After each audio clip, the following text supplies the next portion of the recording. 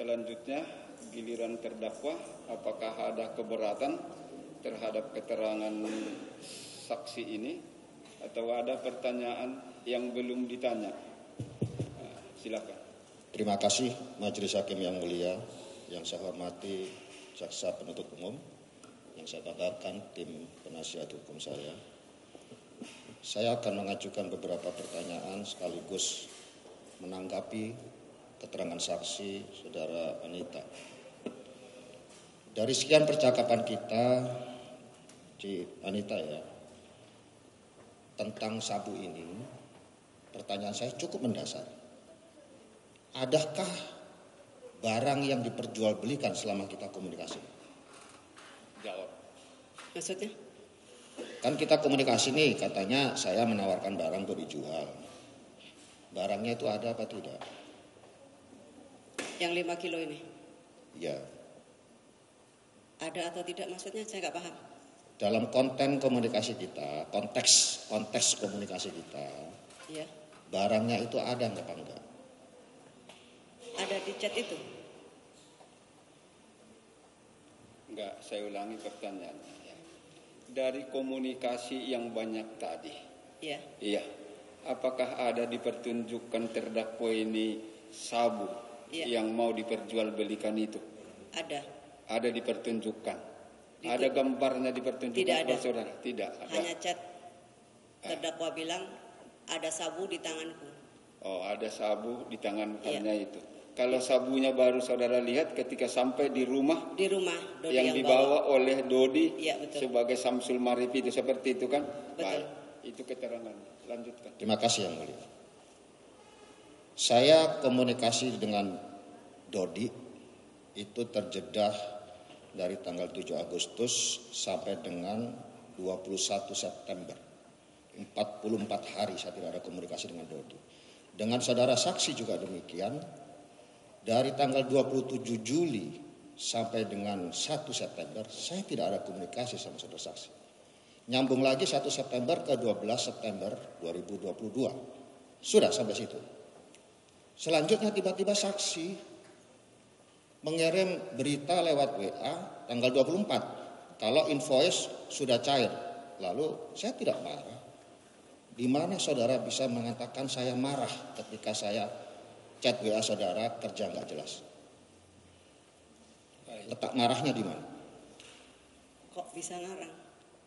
Dari awal kan yang menawarkan kan terdakwa. Iya. Ya, saya berpikir itu dari Teddy Minahasa. Oh tafsiran saudara berarti itu barang dari saya. Nggak mungkin itu chat Ya. seorang jenderal akan bohong. Ya. Yang saya tanyakan, chat saya kan kerja nggak jelas. Letak saya marah di mana? Maksudnya? Coba Baik, saya ulangi.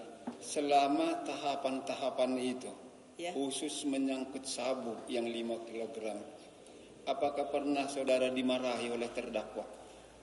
di apa kan nggak Dimarahi? tidak. Tidak. Jawabannya tidak ada dimarahi, cuman dia takut dimarahi. Nah, Ah, itulah yang mulia. baik. Kalau kepada yang mulia bisa jujur, kepada saya kok bohong terus. Iya.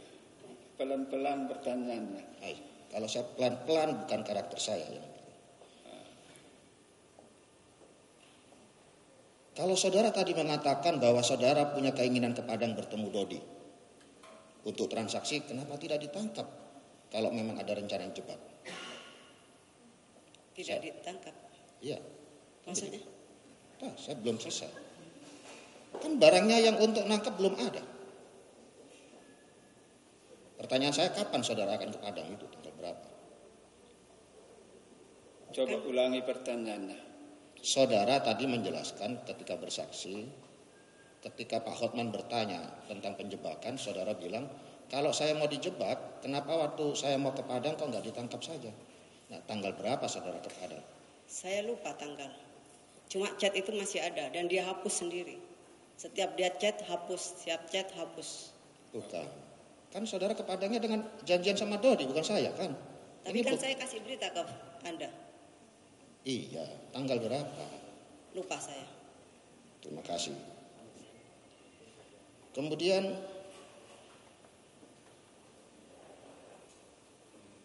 Karena nggak ada barang yang mau untuk menjebak. Kemudian yang ketiga, keterangan saksi ini sebagian besar tidak benar ya. Terutama coba poin-poin yang poin-poin ini yang penting-penting saya tidak baca lagi karena banyak. Iya.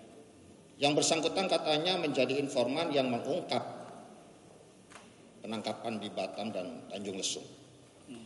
Itu oleh timnya uh, Irjen Pol sekarang Niko Avinta, Nanggolan, Herimen dan lain-lain. Itu bukan dari yang bersangkutan yang boleh dihadirkan saksi beliau-beliau itu di persidangan ini kalau tidak percaya. Kemudian, saya bertanya satu hal kepada saudara saksi. Saudara tahu Vietnam dengan Myanmar itu posisinya di mana? Saya tidak tahu peta. Cuma saya punya informan itu di Vietnam. Ini hanya menunjukkan kebohongan yang bersangkutan yang mulia. Vietnam itu antara Taiwan sama China. Nyelip di sana. Makanya kita mengikuti informasi dari yang bersangkutan ke Laut Cina Selatan. Rutenya sudah benar. Kalau Myanmar itu di seberangnya kita lewat Selat Malaka. Baik. Itu yang mulia. Jadi Dia kita dibohongi. Sudah jawab enggak tahu peta. Kalau ada komplain keberatan pasal itu sampaikan nanti simpulkan ya. Terima kasih. Kemudian Juga cerita saksi bahwa ada rencana menyisikan 100 kg dari 2 ton. Itu cerita rekayasa dari siapa saudara saksi? Enggak ada rekayasa. Itu nyata. Mana faktanya? Saksinya siapa ketika saya bilang begitu? Gimana ada saksi kita mau curi ada saksi? Kita oh. hanya berdua. Oke. Okay. Nah, Tidak mungkin yang mulia. Keberatan yang mulia. Orang mau curi kok pakai saksi? Sebentar, ya. Kalau bisa dijawab, jawab. Kalau tidak tahu, jawab tidak tahu. Yang nggak bisa mulai. kalau tahu, jangan jawab tidak tahu, ya. ya. Baik, ya. Ada saksinya katanya tadi ketika itu. Tidak ada. Kami tidak ada, cukup. Eh, kan selesai kan? Baik, yang pertanyaan yang lain. Yang mulia, kami ini membawa pasukan bukan pasukan abal-abal. Kapal yang kami pakai buatan Spanyol. Kapal andalan Dewa. Di situ ada 31 eh, ABK. Kami juga bawa detasemen khusus. Kami juga bawa beberapa organik bin. Ada jenderal, ada kombes dan lain-lain. Tidak saya sendirian.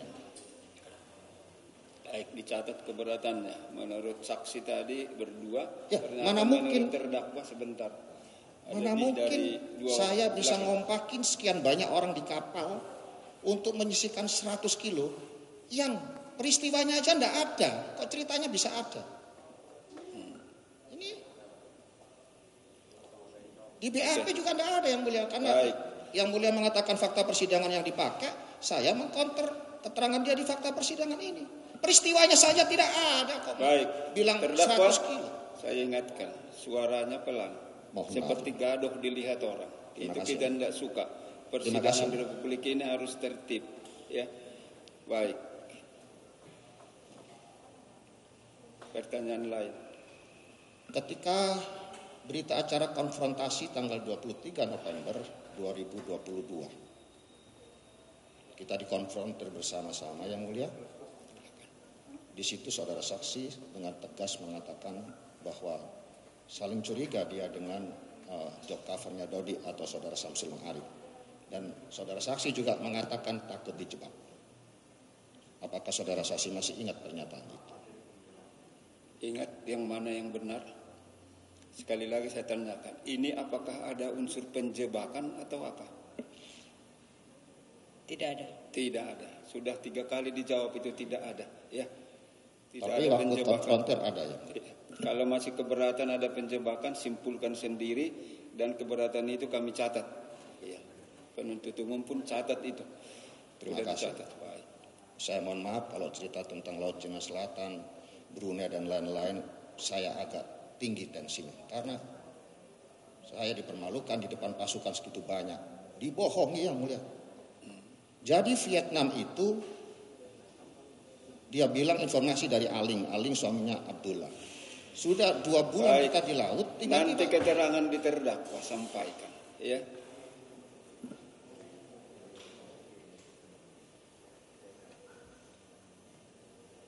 Yang ingin saya tambahkan tadi, bagaimana mungkin saya dengan segini banyak pasukan terus menyisikan 100 kilo?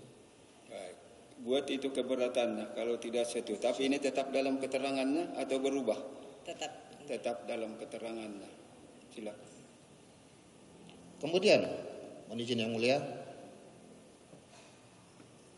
tadi keterangan saksi juga mengatakan bahwa saya yang suruh menyerahkan uang pada Dodi. Saya ini keberangkatannya saja sudah tidak tahu. Tanggal 22 saksi mengatakan pada pertanyaan di poin 10 tadi, tanggal 22 saya menghubungi yang bersangkutan. Di hasil selebret tidak ada. Transaksinya pun saya tidak tahu. Makanya saya perintahkan tarik. Batalkan, musnahkan. Terus saudara Dodi juga mendeliver perintah itu kepada Arif. Arif mendeliver kepada saudara saksi, tapi saudara saksi mengingkari hasil laboratorium forensik digital. Itu lebih sahih daripada foto-foto tadi yang dipertunjukkan oleh jaksa penuntut umum. Jaksa penuntut umum menunjukkan foto-foto itu ada jempol orang. Ini udah hashingnya atau digital forensiknya udah terganggu, udah tidak sahih lagi. Baik silakan sampaikan keberatannya itu nanti buktikan lagi waktu pemeriksaan ahli. Ya, maksud kami yang kami tanyakan kepada saudara saksi. Ketika saya tidak tahu keberangkatannya, saya tidak tahu transaksi, mengapa saudara bisa mengatakan kalau saya diam itu artinya saya setuju? Maksudnya? Ya, Baik, saya ulangi pertanyaannya. Tadi kan ada chat saling berbalas. Saksi menyatakan kalau ada chat tidak dibalas oleh terdakwa itu berarti dilanjutkan begitu. Betul. Kalau kalau dia tidak setuju pasti dibalasnya. Betul. Begitulah pemahaman Betul. saksi terhadap komunikasi itu. Nah, kalau nanti di mana keberatannya sampaikan. Sangat keberatan yang mulia. Ini pola komunikasi model apa begitu? Gimana? Kalau diem tidak menjawab artinya setuju. Kalau menjawab artinya tidak setuju. Eh. Terima kasih, apa pun itu terima kasih saudara saksi. Urusan Brunei berhenti juga bukan karena COVID. Saya di pertengahan Oktober setelah merasa dibohongin habis-habisan, saya paksa ambil handphone yang bersangkutan, saya pertontonkan di depan anaknya, saya ke rumahnya. Kebohongan orang tuamu. Saya tidak marah.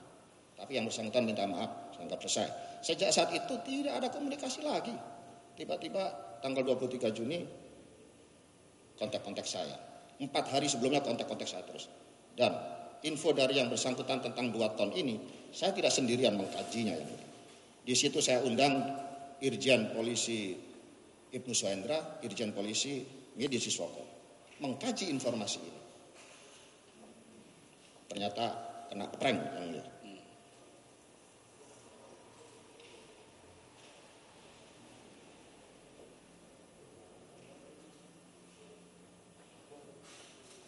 Saya rasa itu yang mulia. Ya. Mohon maaf saya agak darah tinggi kalau cerita tentang histori ini. Mohon maaf yang mulia. Mohon maaf. Terima kasih. Salam hormat. Semua itu dalam rangka menggali fakta, ya.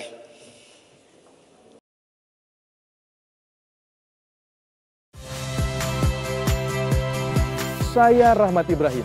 Saksikan program-program Kompas TV melalui siaran digital, pay TV, dan media streaming lainnya.